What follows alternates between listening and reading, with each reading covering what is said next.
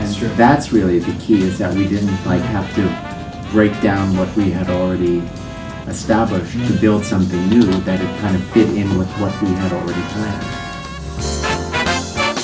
Why don't we do this and then go through the show again and find that place that we think is right? Oh, that's very effective.